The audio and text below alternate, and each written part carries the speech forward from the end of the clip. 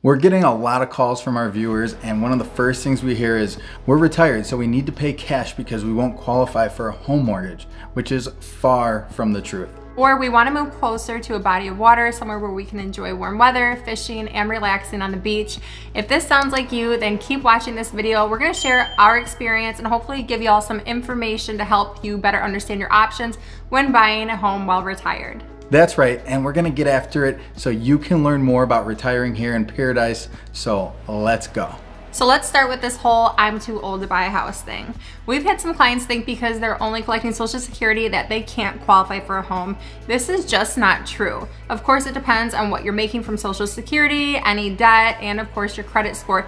But let's use one of our clients as an example. Husband and wife. Wife's collecting Social Security and receives about $3,000 a month.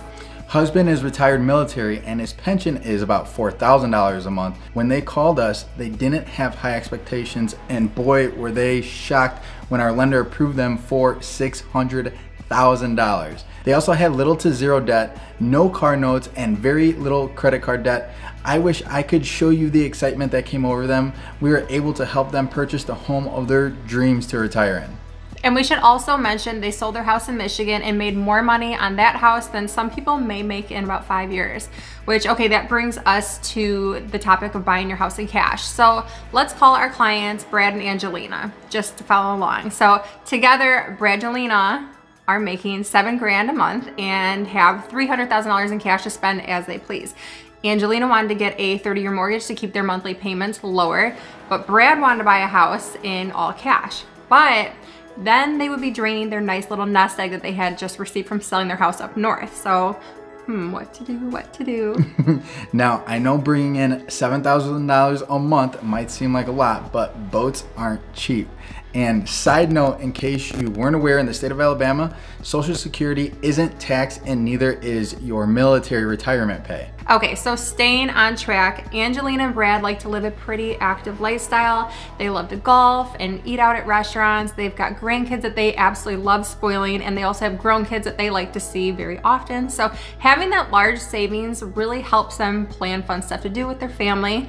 And I'm all for making smart decisions when it comes to your bank account, but in this scenario, I agreed with Angelina take the low monthly mortgage payment and have money in the bank, live that lifestyle that you want rather than putting it all down on a house. And banks do not care how old you are. You have recurring monthly income guaranteed from the government that they give you. Banks don't care if you have a 30 year mortgage at any age. They can't discriminate, so take advantage of having some extra spending money and live the life you want today because we're not promised tomorrow. And come to find out, they were both in their 50s. 50 is not old at all. Think about that. The Rock is 50. Shaq is 50.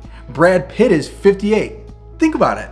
Jennifer Garner's 50, J-Lo's 53. J-Lo, can you imagine looking for retirement properties with J-Lo? That would be so cool. let's go, let's do it. Jenny from the block, we've got your back if you ever want to retire in lower Alabama. Okay, okay, so back to Brangelina. We were originally helping them find something in a 55 and up community. Then they realized that an active adult community with single family homes would be even better because it's a community that doesn't have an age restriction tied to it, but it offers all those great amenities like lawn care, maintenance, golf courses, tennis, shuffleboard, pools. You get the picture. It's basically for people wanting to socialize and relax all at the same time. I explain it like this. It's being a homeowner without the additional responsibility of being an actual homeowner.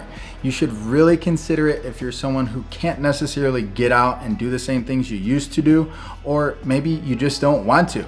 I get it. I have those days, and Jessica has lived her whole life like that. So we definitely understand. Um, he is so full of it and you know it, okay? I do all the cooking, I do the cleaning, I'm outside gardening. Hey, I do a lot. But I do laundry. So uh, yeah, you do. I don't. These hands don't touch the laundry. That's all you, babe. Anyways, let's get to that warm weather, fishing and relaxing on the beach like you were talking about earlier. Case in point, he wants to get to what he knows best. I do, and that's my clients. They want to retire and move to a less expensive state and buy their dream home, the one that they've been dreaming about for years and years, the one that's their computer screensaver, or the one they have in their car to look at when they need to escape the reality of a cold, miserable, overcrowded city. Ugh. It's okay, babe. You don't ever have to go back there. I promise. You're safe now in sweet home Alabama. I know, it just takes me back and I don't want to go back. What he's trying to say is there's beautiful sunny days most of the year here.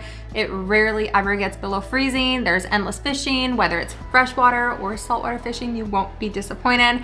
I personally don't love to fish. I mean, I do enjoy like casting now, but once I get a bite, I just hand it over to Tony. He can do the rest until it's time to cook it up and eat it.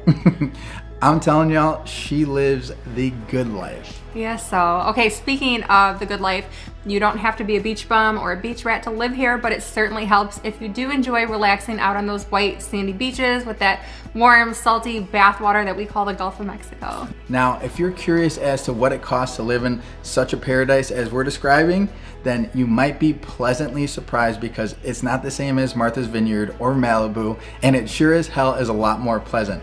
You can find homes on Dog River that take you right into Mobile Bay for below 200,000 or find a relaxing home in the country that ranges from 300 to 500 or along the Gulf Coast going all the way up to over a million.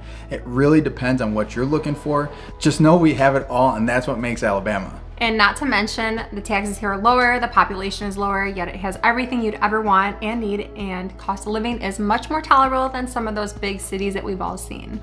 It is, but inflation still sucks, so it's not like you're living for free or anything, but it is much better.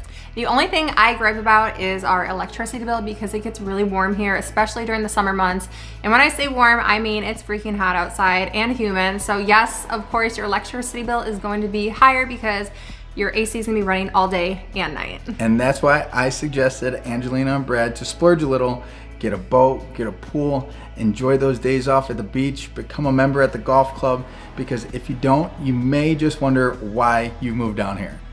Y'all, do you see this? Tony is such a baby, and that's why I'm gonna be making these videos for the rest of my life. All right, we hope our experiences and our story helped y'all or provided some information that you didn't already have. Now, I hope y'all see why retiring to Lower Alabama is the only way to go. If you're ready to find your perfect home to retire in, call us today. Lower Alabama is where it's at. If you don't believe us, check out any of our other videos and you'll be ready to pack your bags and move today. Thanks for watching, and we'll see y'all later. See you on the next one.